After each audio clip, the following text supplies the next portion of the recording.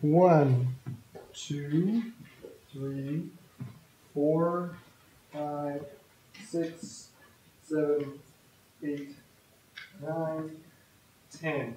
Linear time is always present in our lives.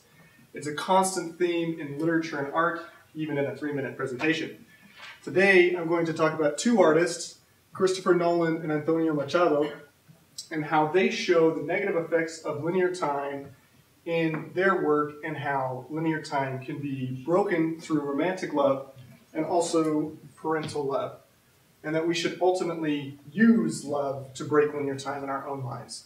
In Machado's work, the river is a constant image of something that leads towards death. If you think of a river, it's, it flows in one direction, you can't stop it, and it always goes to the lowest point.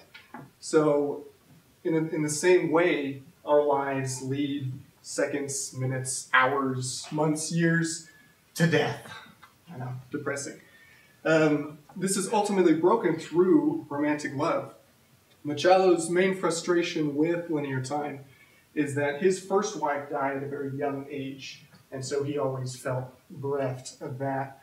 And in the same way that you can scoop water up from a river and stop it from reaching the sea, you can retain loving memories of your wife or other loved ones and retain them from going into the realm of forgottenness.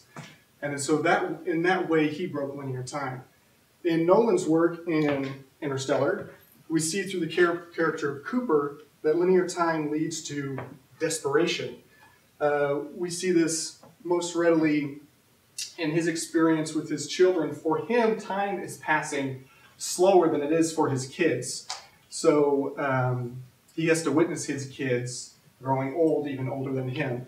And he breaks linear time through romantic love. We see this as he reaches his hand from the future to Brand in the past, and through parental love when he's in the black hole and communicates a message 40 years in the past to his daughter, which saves her life and all of mankind. So it's my uh, hope and belief that we should fight linear time through love. Do not go gentle into that good night.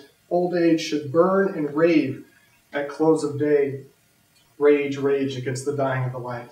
So please use your time wisely. Thank you.